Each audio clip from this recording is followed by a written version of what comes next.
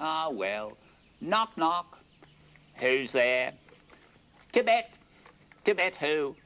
Early Tibet and early to rise. So it's back to bed for